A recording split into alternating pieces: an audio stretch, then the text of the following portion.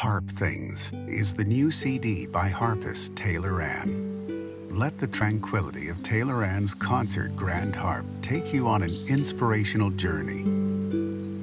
With this stunning collection of your favorite gospel hymns, performing around the world in cities like Vienna, Prague, Sydney, and London. Taylor Ann's renditions of the Old Rugged Cross and Sweet Hour of Prayer are sure to quickly make Harp Things the favorite CD in your collection.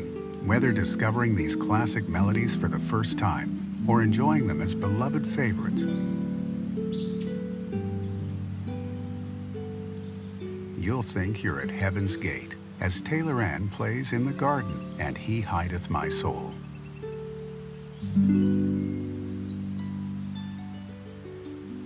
Harp Things will make your music library feel complete.